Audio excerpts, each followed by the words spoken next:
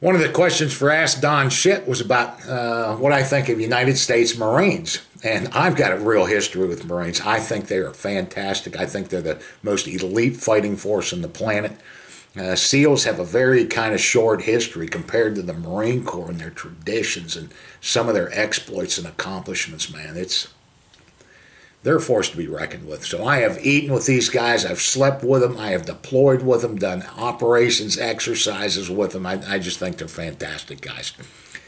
And so in the early, early 1990, I'm in the training cell at SEAL Team 2, and Desert Storm is heating up.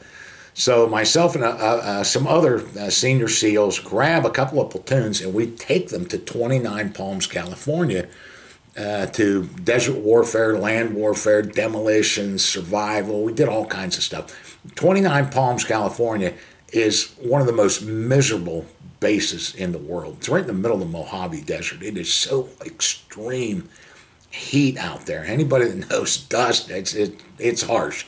But you can do uh, a lot of stuff out there. This place is the size of Rhode Island.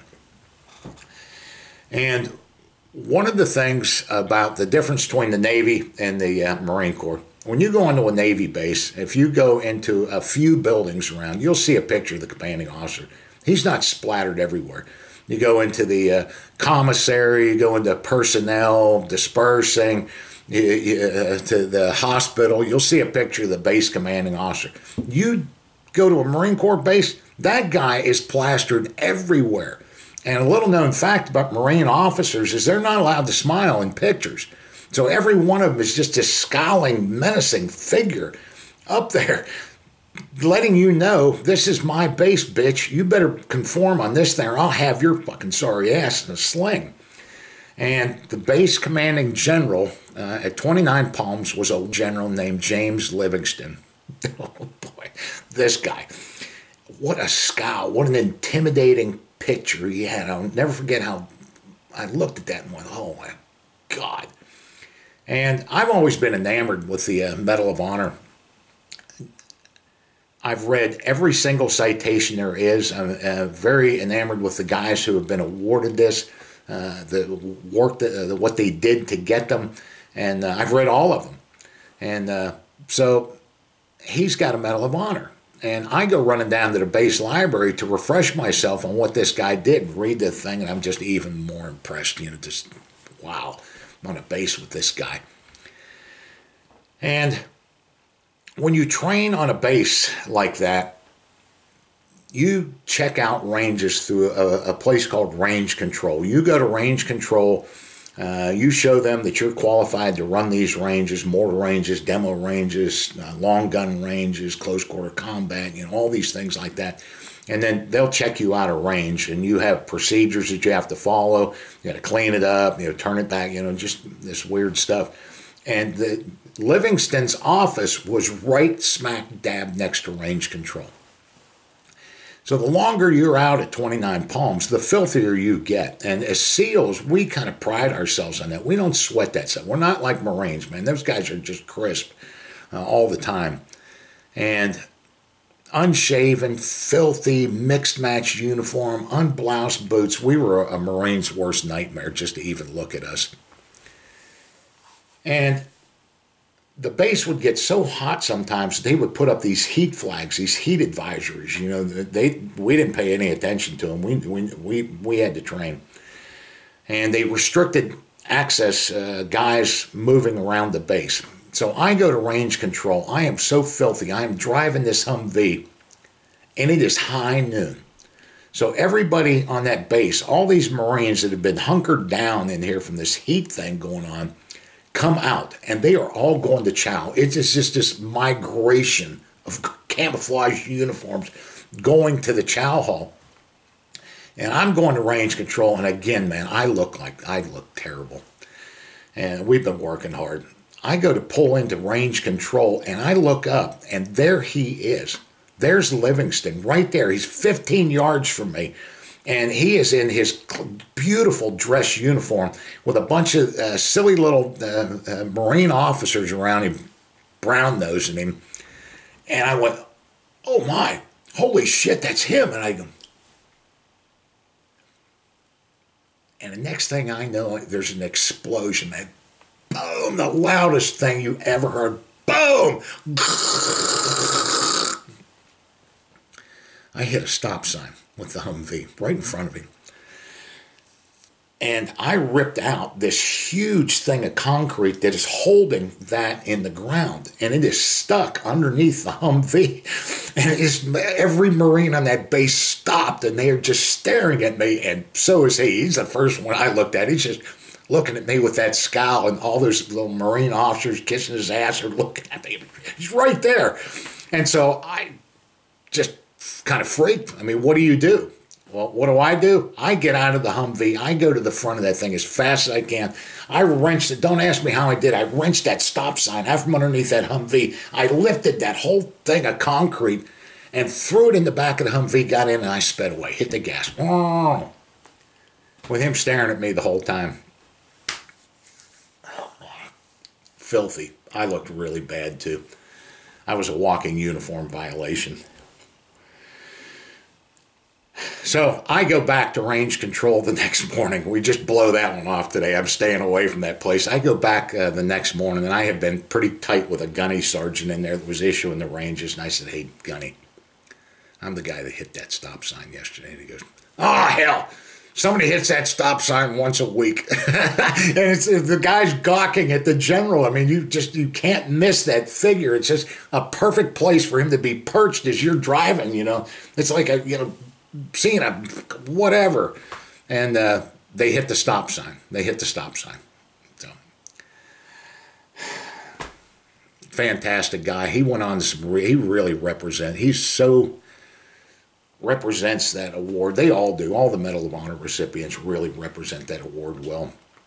And uh, went on to be a state senator, and he's still active in all the Veterans Affairs. He's a big Trump supporter too, and uh, he doesn't like the way the country's going. So uh, yeah, I've met a, a, number of Medal of Honor uh, recipients uh, since. He was my first, and I wish it really would have gone better between me and the uh, the general. So. It's uh, Memorial Day when this is being posted up, and uh, there's a, a, great charity out there. It's run by a SEAL friend of mine. It's called frogmandown.org, Navy SEALs Fund, frogmandown.org. And I was very honored that they asked me to do the uh, memorial toast this year they have a, a, big event, and they asked that I, I do it and uh, and honor my fallen SEAL teammates. And uh, so uh, here it is. I'll attach this, and I appreciate it. Subscribe to the channel if you get a chance to swing over to the uh, video website. Uh, join up there for a month. Uh, it's all appreciated. It all goes to a very good cause, man. So, thanks.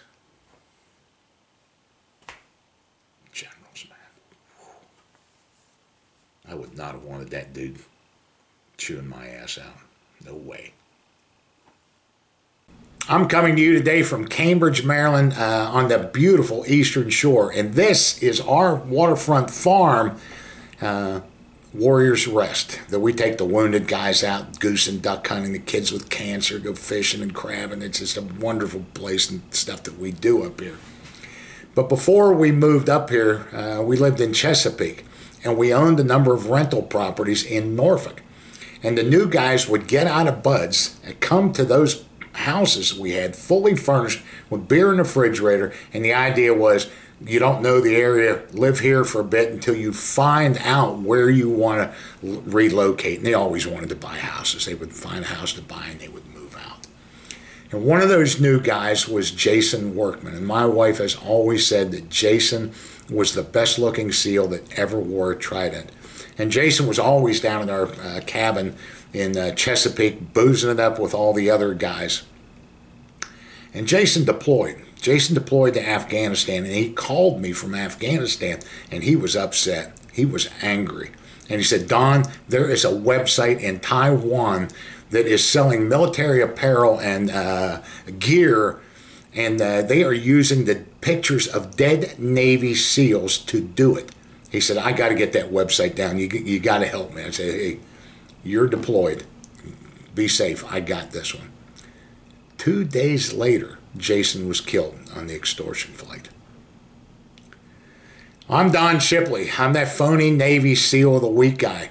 And my verification letters that I send out uh, verifying phony seals, uh, the first paragraph in there is my efforts to expose seal imposters are performed as a service to the public and in honor of my fallen SEAL teammates, men who truly earned the title of United States Navy SEAL but are no longer able to stand forward in defense of their honor, their reputation, and their teams.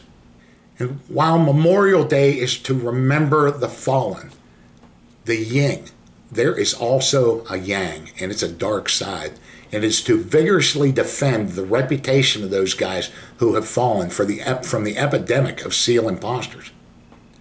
Those imposters not only steal from those veterans that rightfully earned that, they steal from their wives, their children, their mothers, fathers, friends, and other family. They're despicable, terrible little underachieving puds, and their reputations need vigorously defended and I'll get after all of them.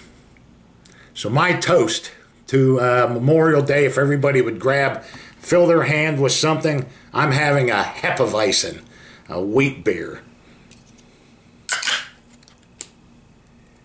And my toast is this. There's a race of men who don't fit in, a breed that can't stand still.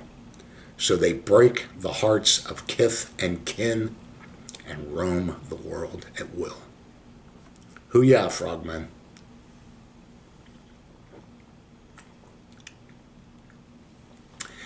Thank you for inviting me to do this.